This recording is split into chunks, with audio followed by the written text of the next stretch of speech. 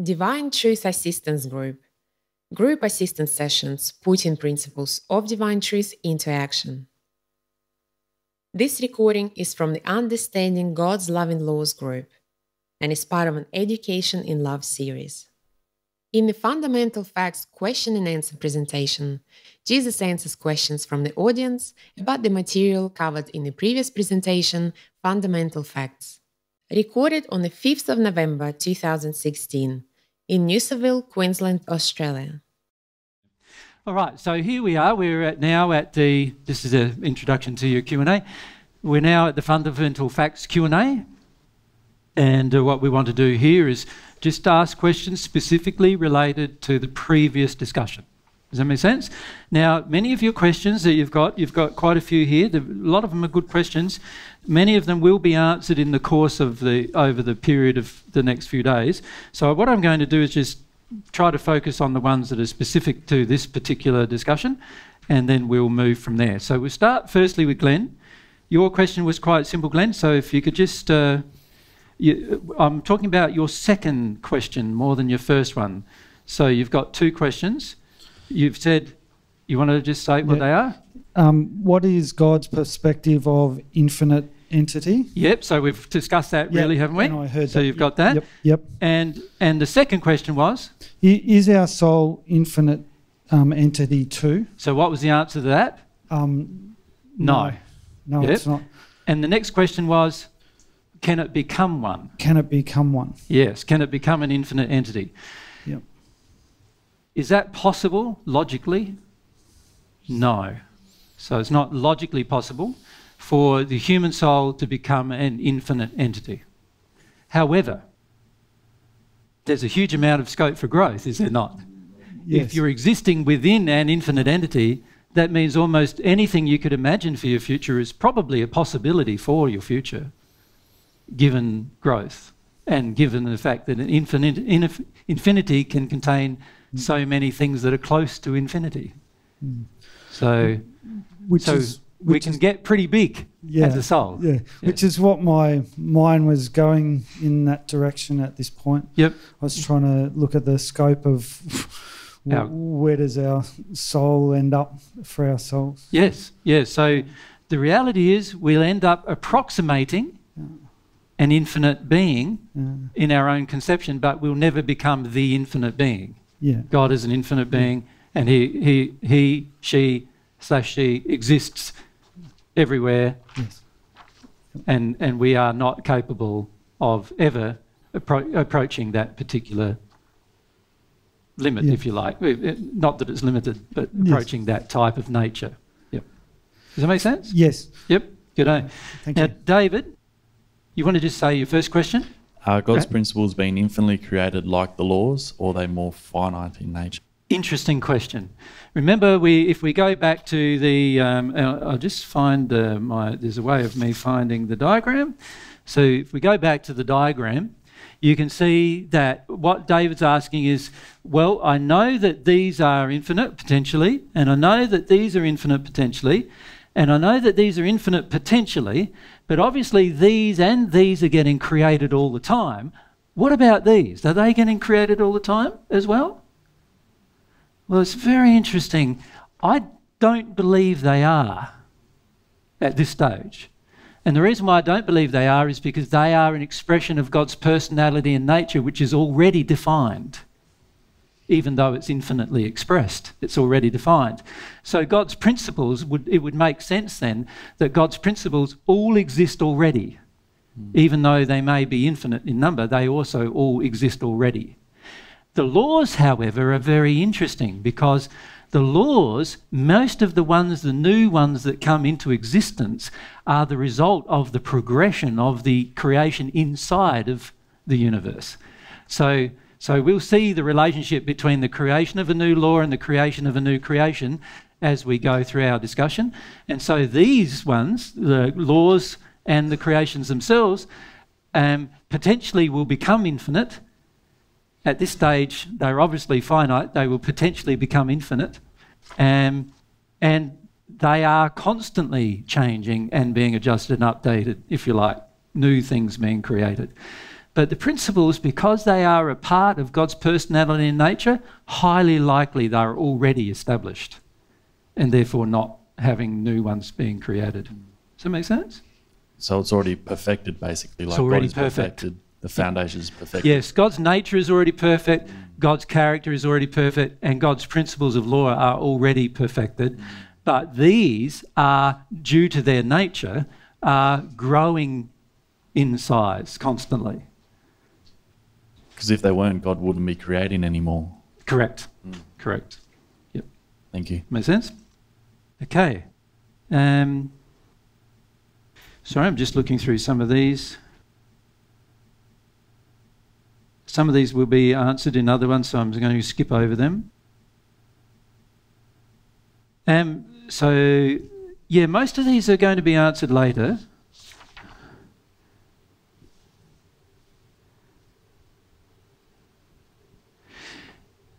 Yep, that's answered.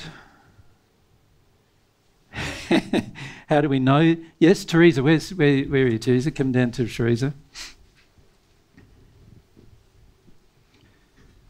And uh, the next person I'll just have a look at.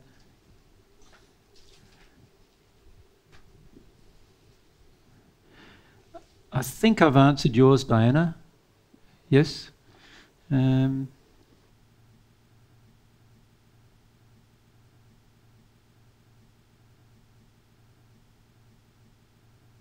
Anna, Anna S. Um,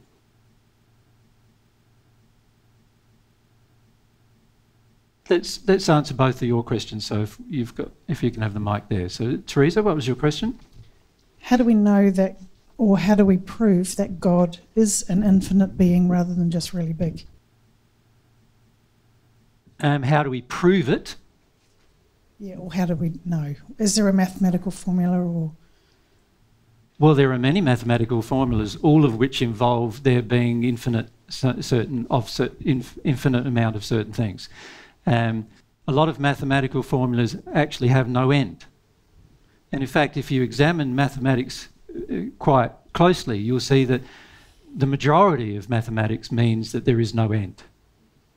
And that in itself is proof that God's nature must also have no end. Does that make sense? Uh, You can't create something that is not a part of your own nature generally. So, as a, as a being, so so you can't create things that are not a part of your own nature. God can't create things, or couldn't create things that are not a part of His nature. So He's created a whole heap of mathematical formulas that have no end, that are all infinite in their nature. Then surely that also automatically means that God must be infinite in their, His nature. Okay. So there is a lot of mathematical proof that God is infinite. Does that make sense? Yeah. It's just a matter of whether we want to accept it emotionally. Now, for the majority of us, we have a huge amount of emotions blocking us from understanding that God is infinite, let alone understanding infinity itself, which is a problem for the human soul, Yeah. given that we're finite. Yeah. So we have a lot of emotional blocks to the concepts of the reality of God's truth about God Himself, which is the reason why we need the connection with God. We need God to tell us the truth about it. So once God tells you the truth about it, that's probably when you'll believe it. Even though there is a lot of mathematical evidence that God is infinite, you believing it may take some time. Mm. Yep. Does that make sense? Because of the emotional resistance. Yep. Thank you. All right, Anna S., uh, you want to ask your first question? Um, Do you remember it? How is self maintaining creations of God? How are self maintaining creations of God? That one? Yeah. how how self-maintaining creations of God are driven by God's character, attributes, and desires, and powered by God's energy. Yep. Well, um, we're going to give you some examples of that um, in time, but, but to give you some examples, um, firstly, powered by God's energy. A number of you have asked the question about powered by God's energy. Does that mean that God has energy flow? Yes, it does. Does that mean that God's energy can be exhausted? No, it doesn't, because God is infinite. It's, it, it therefore implies that God has an infinite source of energy. However, most of God's, or all of God's creations are finite, and they all have energy requirements. And as such, they need a flow of energy from God's being, from the, God, the entity of God, in order to be maintained. Now, one of those energies which you uh, have some experience with is the life force energy. Right? So, so we can, we can, we'll be talking about that in the life principles, how that, how that flows. But without God having that energy, you would not have life. That, and God has many forms of energy. In fact, a potentially infinite number of forms of energy. Right? And as you grow, you, you find out these forms of energy. One of those forms of energy is the life principle, the life force that we actually use to actually live. And that determines whether something dies or something lives. That energy comes from God in the end. So, so the reality is, yes, there's a huge amount of energy, obviously an infinite amount of energy that God has, and every one of God's creations obviously needs God's energy to survive. But also all of God's laws that form the framework, laws are forces. Can you see? They're like um, you could you could treat them like gravitational or magnetic forces that are upon the universe itself. Does that make sense? So the laws themselves are forces upon the things they control. And as such, any force is going to require energy in order to be imposed. Does that make sense to you? So, yes, God's creations um, require power, but they are also self maintaining in the sense that God has, where possible, inbuilt inside of the creature or creation the forces that are required to maintain the creation. And an example of that is your genetic structure which actually maintains the look and the functionality of your own body. And that's an example of a law built inside of the creation, governing the creation itself internally. Does that make sense? Yep. And you've also asked the second question, which is why are new laws created? Well, you can see that every time a new creation is created, there must be a new law to govern it. So that's why new laws are created. And new laws, the way new laws are created, we'll discuss later in the scope section, which I think is tomorrow afternoon. Yeah. The scope section, you'll probably find one of the hardest sections to understand. But, but it actually controls how everything gets, how everything functions and is created. So um, we'll talk about that in a lot more detail. Yep. Thank you. Okay. Um, I think that's the main function of most of those questions that you've had. So I'm hoping to open it up to. Oh, so Rita, can I just where, where are you, Rita? Yep. Now, now, Rita, I have a lot of trouble answering your questions because you often interrupt me, and you're not going to interrupt me this time, are you? Good on you. So, so maybe if you could ask the question though, um, don't give your example. Just, just ask the question. Does that make sense? Um, I'm happy to ask ask it for you if you haven't got it there. What laws and principles apply when there is a freak accident and someone dies? Yes. Now, this is one of the uh, philosophical arguments that humans have generally in a lack of belief in God or a lack of belief in law. They say there's something called a freak accident. Well, from God's perspective, there is no such thing as a freak accident, actually. Every accident that ever occurs is due to the soul conditions of each person involved in that accident being created, and a lot of external factors play a part in that accident actually happening as well. And it's the collective soul condition of humanity, as we'll discuss later when we get to human will and desire principles, that control many of these so called freak accidents. So, from God's perspective, there is actually no such thing as a freak accident. Every single thing is governed by law. So, therefore, every accident that happens has a reason for happening, which is governed by law. Does that make sense? So, you fall off, a, you fall off the roof and break a leg. That's, from God's perspective, not a freak accident. There is a whole series of things that are all law based that had to happen, not only in your own soul, but also in the souls of others around you, and also in terms of what you chose to do, your choices, your exercise of your will and desire that create that accident. And none, none of these accidents would actually be possible unless there were a whole heap of laws occurring to create them. Right? So every single accident, from God's perspective, is not an accident. Now, we'll talk about how that affects us emotionally later.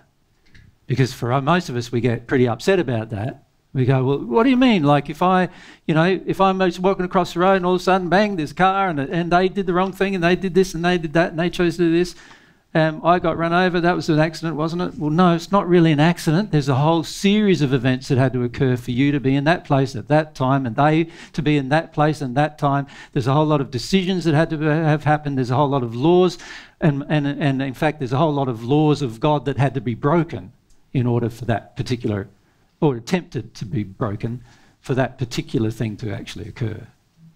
Does that make sense? Yeah. Okay. Thank you. All right. Would you like to ask any other questions, some of you? Uh, Natalie, you would like to ask? Remember fourth row, Natalie, you're standing up. Thank you. Thanks. Um, I just wanted to know do God's principles become part of our nature as we learn to operate in harmony with God's laws? Of course, as we receive, as we receive some of God's, Uh, see, by connecting to God, we're receiving, firstly, by asking for God's love, we are choosing to receive from God one of God's primary, in fact, we've determined that it's the primary, along with truth, attribute of God. We're actually asking God to receive that attribute into our own soul. As a result of the reception of that attribute, we automatically become like God in the expression of that attribute. So, so that automatically then means that we start to understand things about love and we, that we didn't understand before, and we understand things about truth that we didn't understand before as a result of receiving that attribute.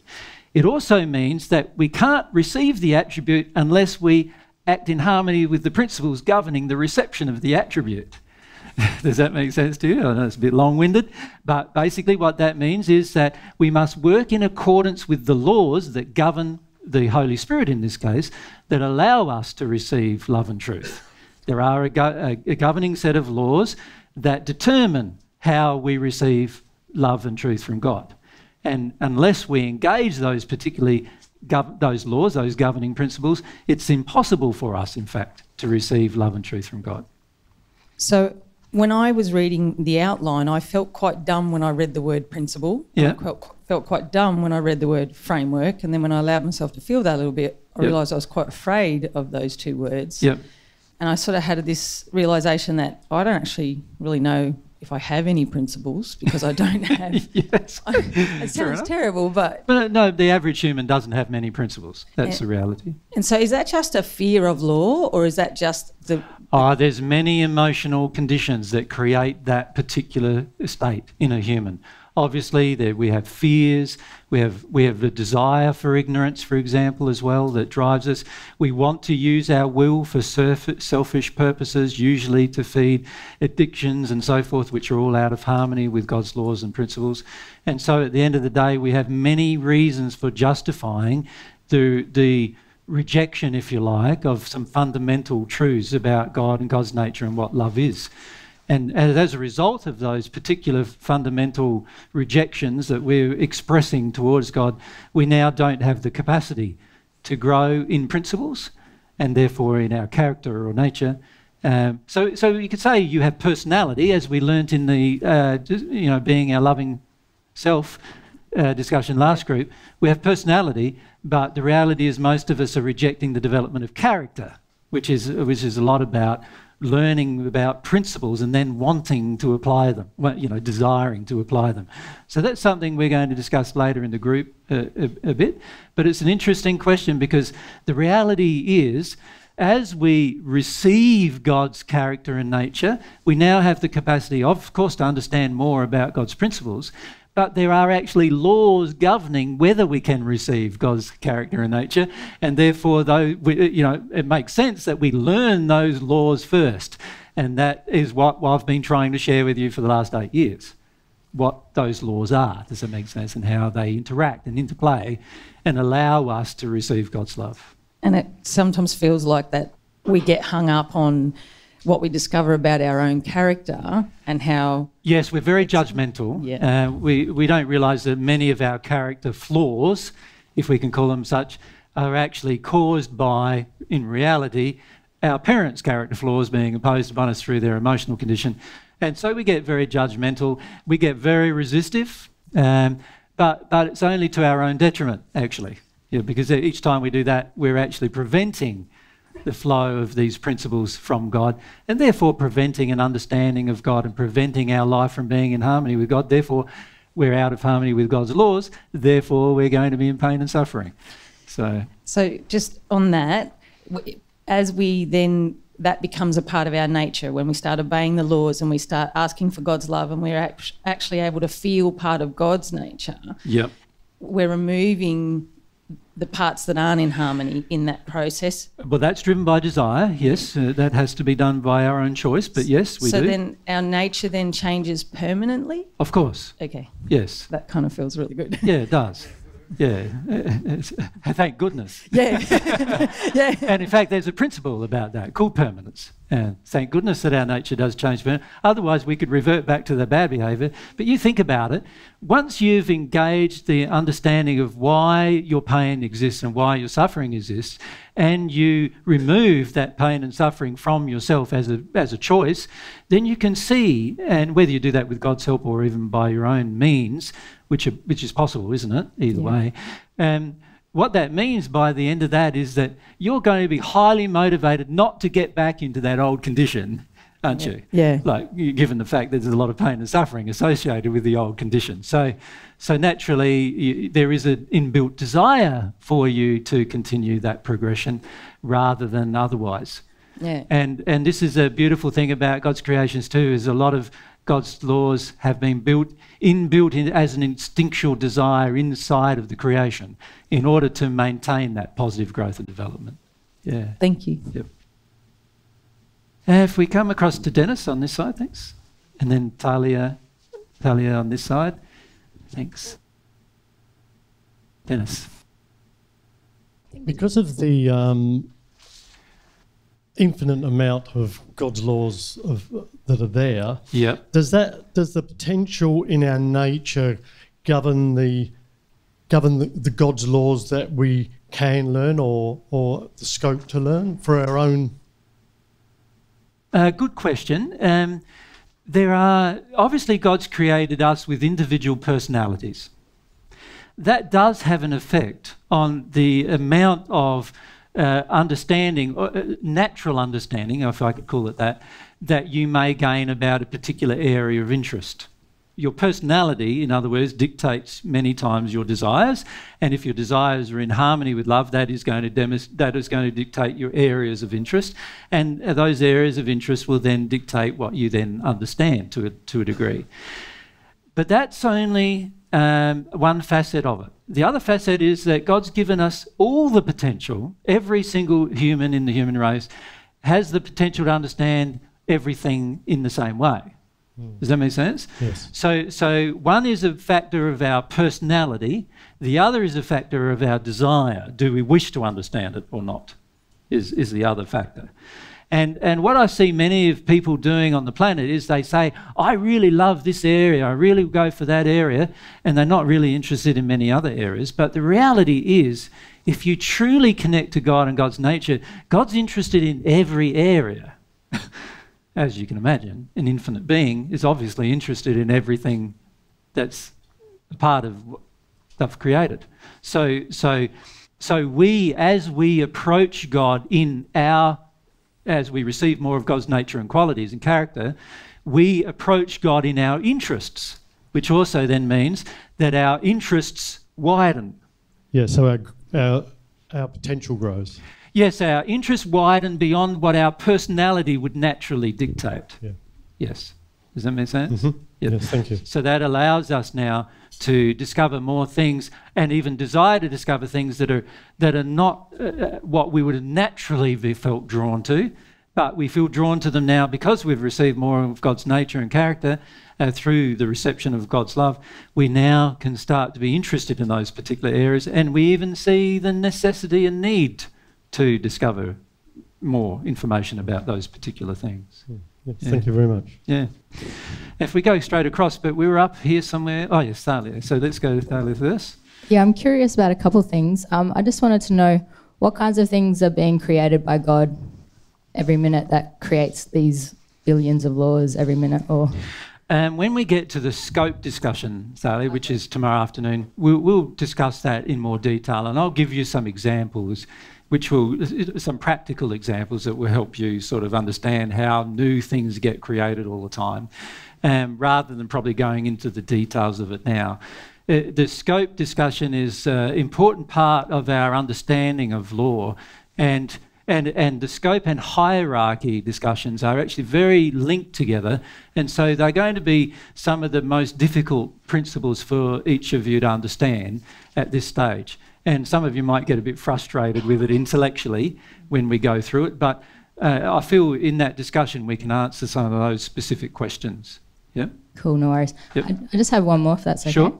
Um, I was curious about, like, to know a little bit more about how God communicates through maths. Um, the beauty of mathematics is that it's in a universal language. In other words, you, you, can, you can describe something mathematically, and it is the fact that it is the transmission of fact. Now, the way God, reason why God communicates with mathematics is because God is only interested in facts. Now, whether those facts be mathematical, scientific, emotional, or spiritual, it doesn't matter to God. They are all either factual or not factual. That's just black and white to God. There, are tru- there is truth or untruth, or there's little mixtures of truth, but, but from God's perspective, that doesn't exist. He, he, is a, he is a person that deals in truth. Mathematics is the language of truth. So that's why God deals in mathematics. Does that make sense? Now, even the way God has constructed your emotional flow within the soul is mathematical. Right? So even the flow of energy is controlled by mathematical formulas. Right? And what I'm trying to do when I'm teaching you about letting go of emotions is to demonstrate to you the practicalities of it without describing the mathematics of it. Because mathematics, as you can imagine, are highly complicated. Right? So what we need to do is focus on the practicalities of it, how to actually do it, what's involved. And I've given some very basic diagrams about, you know, pouring out water so you can get some stuff in and so forth, just to enable you, you to see that there must be mathematical principles involved in the release of emotion even. Does that make sense? So, so remember that God deals in facts, and therefore, and from God's perspective, every fact is mathematical, whether that fact is related to a physical, scientific, mathematical, spiritual, or emotional problem or issue. They all have mathematics involved in them. Does that make sense? Yeah. So, so it's a beautiful way that God has designed, but we can simplify it a lot by by actually describing with some what you would call metaphors of how to actually address particular issues that uh, fundamentally are controlled by quite complex mathematical formulas that control those particular functions. So the very function of an emotion flowing through your soul is controlled by mathematical formulas. Just like the very function of uh, your genetic code is controlled by mathematical formulas and so forth. Does that make sense? So it applies to your physical body, your spiritual body, and your soul. There are mathematics that describe every process, and that's the language that God uses to present facts to the universe God created, Hmm. which we then have the capacity, given our development, to understand. Yep. That makes sense? Yeah, thank Yep. you. Yep. And we're over at uh, Julie. Thank you. I just wondered, all the new laws that are constantly being created, Mm-hmm. are they the only creation of God? Only it's only God that's created them. Um, no, no, not at all. Um, the way God's created God's universe is that we have uh, the ability, human, the human soul has the ability to create. So that means that many of the new mathematical formulas and many of the new laws and many of the new creations that come into existence are a direct result of our desires, not God's. Does that make sense? Yes. But God created all the laws or, and the principles that govern the laws that allow for us to go and create new things and even create new laws. So God's even governing that through a whole set of laws and principles. So, so the reality is, God's given us as the pinnacle of His creation the ability to create. I wouldn't call us co creators, as the sort of common New Age term is uh, referred to, because in a lot of ways we're dependent upon God's creations already in order to create. In other words, God had to establish the principles and God had to establish the laws that enable us to create. But the reality is, we be, do become very powerful creators in our own right through the choices, and particularly the choices we make at the soul level. Um, but even in the physical level, we become quite powerful creators. You, know, you can create a car that can maim somebody and kill somebody. You can. You could also create a car that doesn't. Right? Potentially but, but we don't think of that, right? Because we're not that concerned about, you know, 5,000 or so people dying every year from car accidents in our country. You know what I mean? Whether it's that many here in Australia, I don't think it is, but in the US, it's certainly like hundreds of thousands a year. We're not too concerned about death in proportion to benefit, whereas God is. So, so God, you know, we could create a vehicle that is, imp- that is impossible for that vehicle to maim anybody in any way. We could. We just haven't. Because we don't understand all the laws that are going to be needed to create that vehicle. That's why we haven't. So those laws are the, the law, God's laws, Yep. and we're just creating around the laws. Is that Well, God, yeah, God's laws deter- have determined our ability to create. Mm. We can create things out of harmony with those laws, so naturally, those things out of harmony with the laws will have negative results in our life. Mm. So, so for example, the vehicles that we have on the road nowadays have been created out of harmony with God's laws.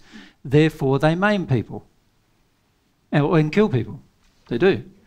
Of course, from God's perspective, the death of your soul is not possible. So, so it doesn't really kill you permanently, and that's where beau- the beautiful thing God's done is He's said even if you kill somebody, it's not permanent anyway, right? So, so that's a great thing, you know, that God's allowed that to their life to continue even though you made a mistake. But the reality is, if we were more concerned about discovering more of God's laws and working in harmony within them, we would only wish to create in harmony with what we've discovered to be God's laws. yes? Yeah. And and it, this goes this drills right down to even just watering your garden and right up to creating massive infrastructures and vehicles and so forth. We we have the capacity to bring everything into harmony with love if we show, so chose.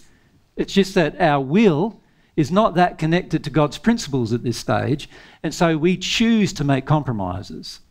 We choose to, for instance, sacrifice lives for expedience.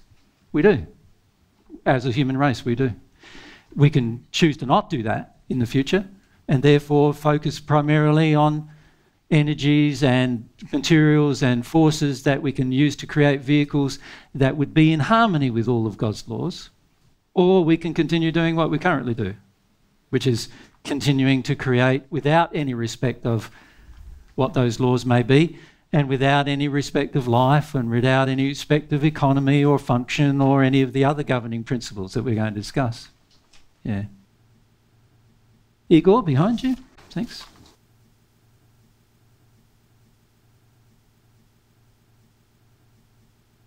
AJ, if I just heard you correctly, um, are we can we uh, create a law as human beings? Can we create a law, and what would be the example of that?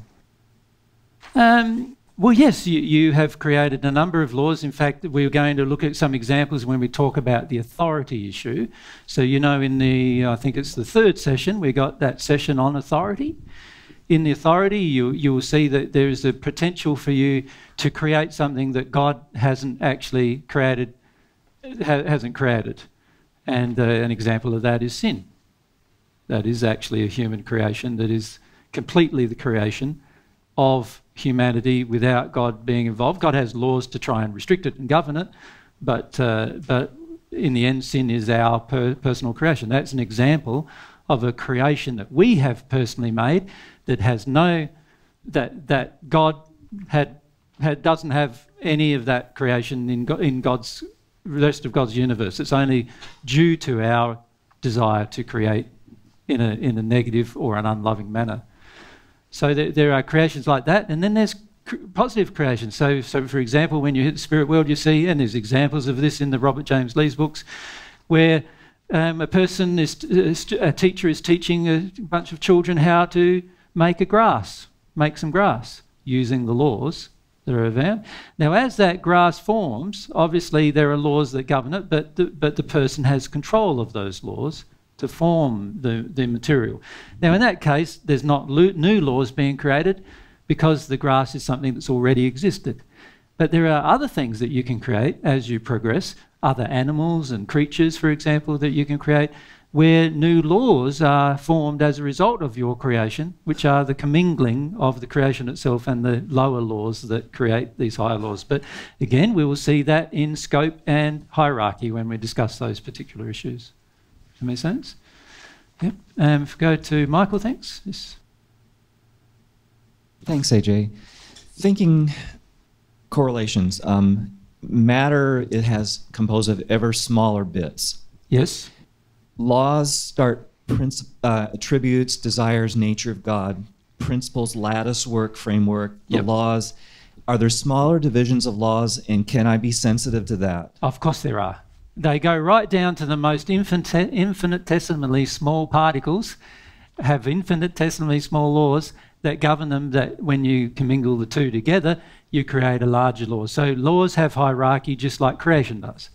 So you will learn that in the hierarchy and scope discussions that laws have hierarchy just like creations have hierarchy. And they drilled right down and and there is there are theories, of course, postulated by sixth sphere spirits about things like the adamantine particle, for example, and the smallest possible particle. I, I personally at this stage don't believe in such a thing as the smallest possible particle because just as God is infinitely large, I believe also God potentially could have control over things that are infinitely small. In other words, they keep everything keeps breaking down into something more and more basic and more and more basic and just more and more basic and we haven't yet discovered those things that's all so you know, if we think about the concept of infinity, we've got the infinitely large, God, and the infinitely small, but who, who knows what that is at this stage because nobody's yet, I feel, discovered it. That makes sense? But every infinitely small particle of various degrees have laws controlling it. We'll have a look at some of the examples when we talk about scope, when, when we discuss that, that subject. Thank you. Yeah. Yep. All right, there's time for one more question, so maybe if we go to Sherry, just. Um, I'm just wondering, I might have missed something, but do the um, spiritual laws have mathematical expression? Yes. Forces. Are there forces as well? Yes. What you call forces? Yes. All, all law has mathematical expression. Yeah. So, so all spiritual laws have mathematical expression, and even the laws governing love have mathematical expression. Thanks. Does that make sense? Yeah. And love being the highest spiritual force yes. from God's perspective. Yes. Yes. So, so even the laws governing the flow of love have mathematical expression. And, and I've, I termed the, that in the first century the Holy Spirit and the laws governing the Holy Spirit. But the reality is they're all mathematical formulas that govern the flow of God's love into your soul. Driven by desire, which actually is driven by another mathematical formula that occurs inside of your soul. Does that make sense? And, and, and do we have the capacity to understand? Of course, we mathematically do. Mathematically, those. We do, but only if we grow in our soul condition. Um, so only if you receive God's love will you have the capacity to understand those things. Um, it's impossible for a person who has not received God's love to understand, for instance, the formulas that govern the flow of God's love into the soul. We can use it. It's like using, many of you today uh, use the law of gravity, right? Right now you're doing it. But, but what is the calculation and formula on Earth for the gravity? How many um. of you um. know that? what?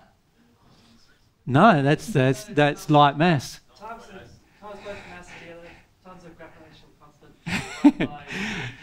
Can you see? Hardly any of you would know, right? What is the actual uh, force itself? How is that measured? Like, what is the measurement of the force of gravity on Earth? It's really simple in meters per second squared. What is it? How many meters per second squared is it? We don't even know, right? Not, well, yes, but it depends where you are. We'll talk about that later. Um, but if you're if you're at, if you're at the center, you know, like the circumference of the Earth in the in the equator, it's different than if you're at the top of the Earth and you're standing in the part that just spins around and you just spin around slowly that, that part's different than if you're at the equator. And we'll talk about why that might be the case. But, but the reality is most of us don't even know it, but we use it every day. And this is what I'm suggesting to you is that you can use these laws, even the law governing the flow of God's love into your soul, you can use it without even understanding the formulas. That make sense? And you can kind of feel it sometimes. Of course you can. Yeah. That's a part of you understanding how it's working. Do you do you so do, when you're like a celestial spirit, yep. do you need to have a special interest or love of mathematics? Or do you start to really understand all this? Well, it's very related to Dennis's question. And in the end, yes, you gain such an interest because you realise, oh, I now that I know all these things, I want to know more about that. And, uh, you know, you, like your interest is piqued, I suppose you could say. And as a result of that, you then develop an interest in an area and you learn about it because you didn't know you needed it before, and now you do right? So naturally, you have an interest, a desire to, to develop that interest. Yeah. And and do you do you and Mary understand lots of that? Or, well, of course, we understand lots of it. At this stage, uh, remembering the formulas is a bit difficult for us because we still have emotions to work our way through. Yeah. But uh, of course, we understand a lot of it. Otherwise, we wouldn't be able to talk about these things with yeah. you, would we? Yeah. yeah. Thank you. Yep. Okay, so so let's uh, finish our Q and A there.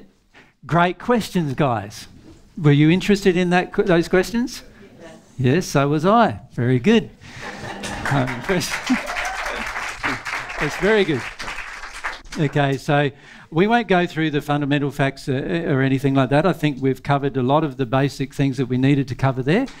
But um, what we're going to do now is just have another 10 minute break, I think it is, isn't it? So if we could come back at, uh, well, it's going to be an eight minute break, sorry guys. It's uh, if we come back at 12.20, and then we'll get started on the first of your two principles.